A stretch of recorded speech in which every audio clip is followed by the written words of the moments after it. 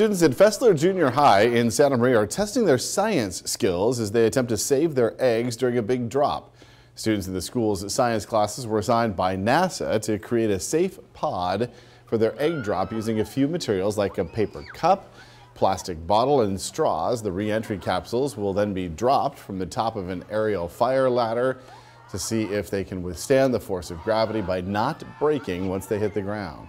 So the big thing is just to review um, forces, to review uh, acceleration and velocity and the physics of what's happening with a fun activity for the end of the year. I had a fun time building the um, my little pod, the one that the egg was in. Did your, did your egg survive? Yeah, no, my broke. ah. The reentry capsules were judged on five criteria points, slow descent time, safety, minimum displacement, pod name, and aesthetic qualities. The project is a way for Fesler students to put their math and science abilities in motion.